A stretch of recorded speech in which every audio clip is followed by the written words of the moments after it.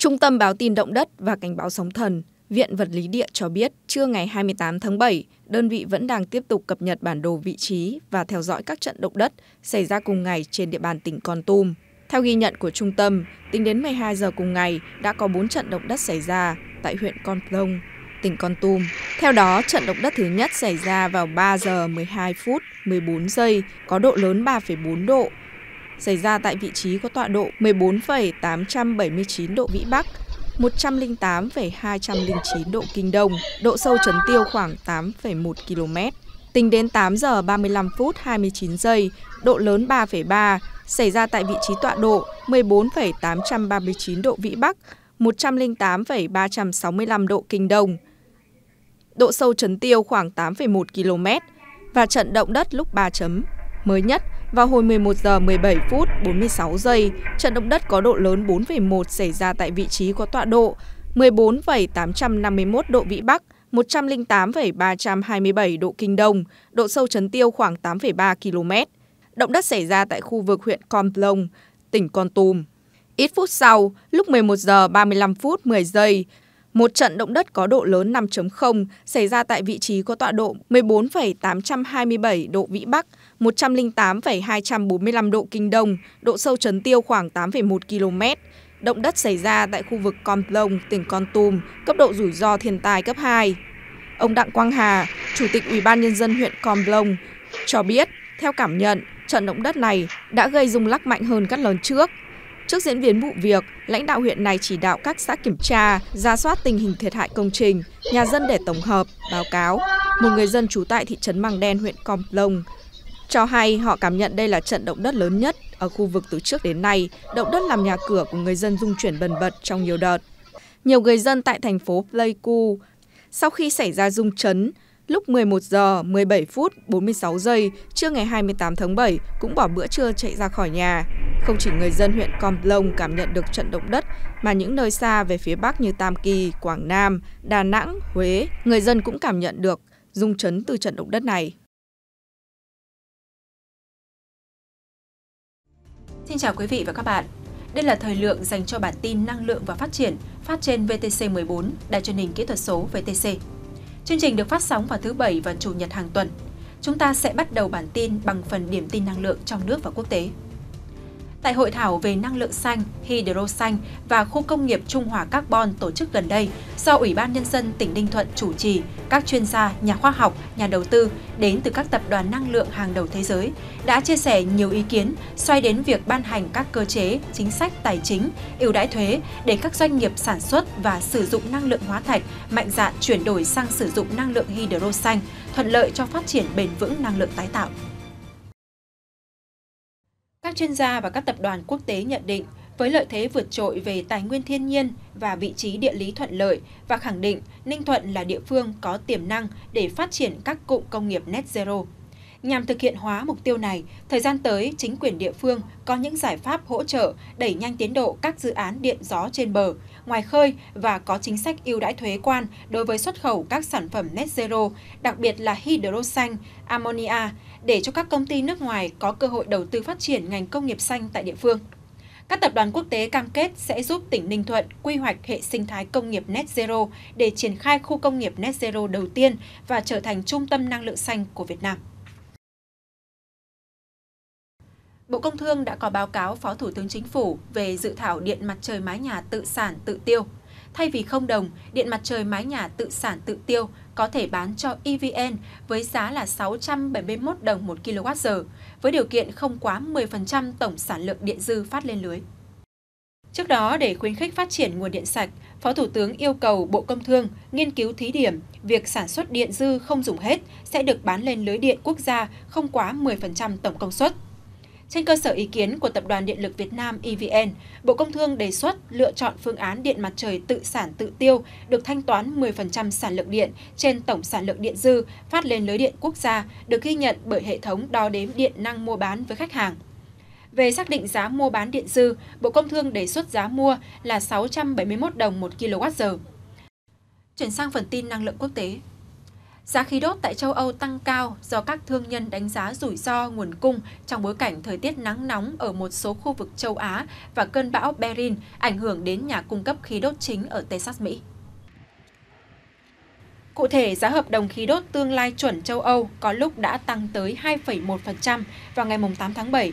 Lượng khí đốt tồn kho của châu Âu được dự trữ đầy đủ trong thời gian này trong năm, nhưng thị trường toàn cầu mà khu vực này phụ thuộc gần đây đã chứng kiến một số gián đoạn.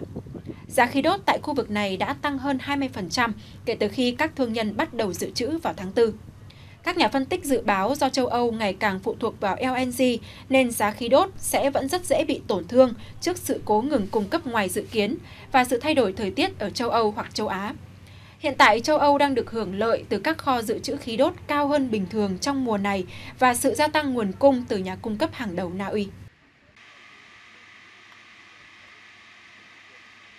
Thưa quý vị, sự phát triển nhanh chóng của công nghệ 5G đã thúc đẩy việc xây dựng hệ thống giao thông thông minh ở Trung Quốc, đặc biệt là trong lĩnh vực vận tải đường bộ. Trung Quốc hy vọng việc áp dụng công nghệ 5G có thể mở rộng trong các lĩnh vực như phân phối hậu cần trên đảo và cứu hộ hàng hải. Một máy bay không người lái cất và hạ cánh thẳng đứng, vận chuyển thành công 20 kg hải sản tươi sống từ thành phố Chusan, tỉnh Chiết Giang, phía đông Trung Quốc đến Thượng Hải – Chuyến bay xuyên biển tầm thấp dài hơn 100 km thuận lợi, phụ thuộc rất nhiều vào mạng 5G. Các trạm phát 5G đã được triển khai trên các ngọn hải đăng ở một số hòn đảo không có người nhằm đạt phạm vi phủ sóng thông suốt dọc theo các tuyến đường của máy bay không người lái. Độ cao chuyến bay, tốc độ và các thông tin trạng thái khác của máy bay không người lái được theo dõi trong thời gian thực hiện để đảm bảo chuyến bay an toàn.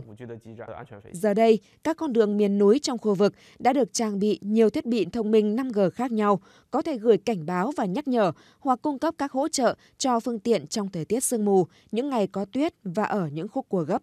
Tính đến cuối tháng 4, Trung Quốc đã xây dựng gần 3,75 triệu trạm gốc 5G, tương đương khoảng 26 trạm trên 10.000 dân.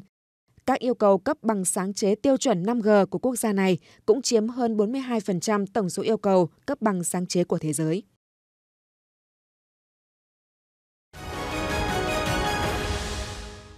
Trở lại vấn đề năng lượng trong nước, Sản xuất vật liệu xây dựng là ngành công nghiệp tiêu tốn nhiều năng lượng, sử dụng nhiều tài nguyên thiên nhiên và có phát thải lớn trong quá trình sản xuất. Do đó, việc xanh hóa cho các sản phẩm vật liệu xây dựng được các chuyên gia đánh giá sẽ mở ra thị trường mới cho nhóm ngành này, mang lại nhiều lợi nhuận hơn so với các sản phẩm nâu, truyền thống cùng loại và sẽ đóng góp tích cực vào hành trình chuyển đổi xanh nền kinh tế, hướng đến phát triển bền vững.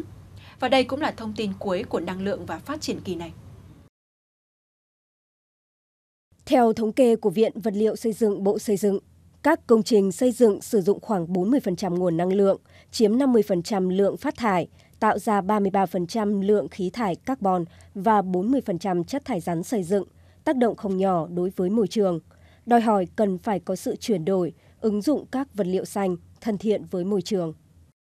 Thì tôi cho rằng với cái mục tiêu của mình là xanh hóa Mục tiêu của mình là cam kết quốc tế là giảm phát thải về không vào năm 2050, rồi ờ, sử dụng tiết kiệm và hiệu quả năng lượng, chuyển dịch cơ cấu năng lượng. Thì tôi cho rằng là cái chỉ số này